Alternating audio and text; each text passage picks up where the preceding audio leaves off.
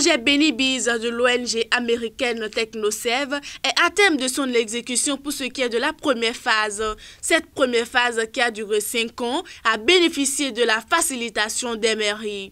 C'est donc à juste titre qu'une équipe du projet, avec à sa tête le directeur pays adjoint de TechnoServe Bénin, est venue présenter les résultats à la mairie de Paracourt.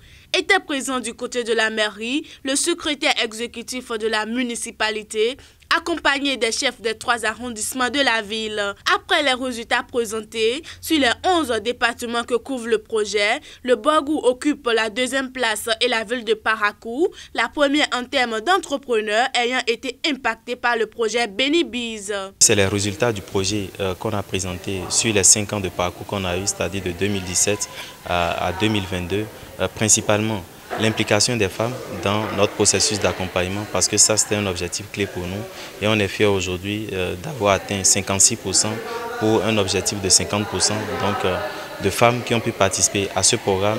Euh, la deuxième chose c'est la croissance des entreprises on avait visé 30% de croissance pour ces entreprises qui allaient bénéficier de notre accompagnement.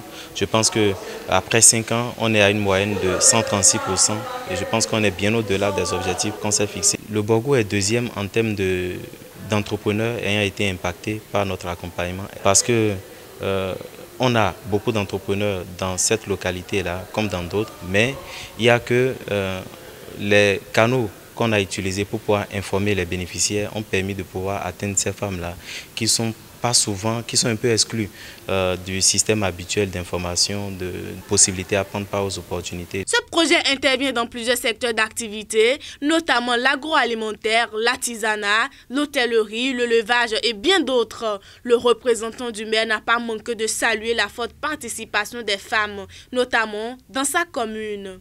Je me rends compte que dans la répartition géographique euh, dans le Borgo. Paraco a pu avoir 61% de personnes qui ont été touchées, je ne dirais pas nécessairement impactées, hein, mais qui ont été touchées, c'est déjà important.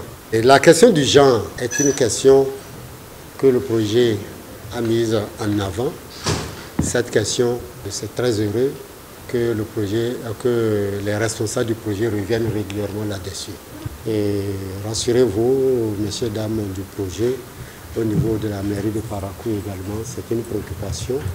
Nous en tenons compte euh, et nous ne pouvons que vous encourager à aller dans ce sens. Grâce au cofinancement et au fonds Covid de la coopération suisse et des Pays-Bas, plusieurs entrepreneurs ont pu se relever après la pandémie de la Covid-19 et d'autres de mieux booster leur chiffre d'affaires et d'accéder à de nouveaux marchés, comme en témoignent ces deux bénéficiaires. Avant nous, euh, on avait notre méthode de gestion dans l'entreprise, mais avec euh, l'accompagnement de Bénébizé suite aux formations, on a essayer d'évoluer et d'approfondir encore plus nos cahiers de charges, nos, manières de gérer tout ce que nous faisons entrer, que nous faisons sortir. C'est là, aujourd'hui, on a un taux de 20% en plus de ce qu'on faisait sans l'aide de Bénin-Biz. Donc c'est un bravo que nous devons donner à Bénin-Biz pour tout ce qu'il fait à la ville de Parakou. Ce n'est pas seulement pour les femmes, on va prêter, il, il y a aussi les hommes qui sont en manque et qui demandent encore plus.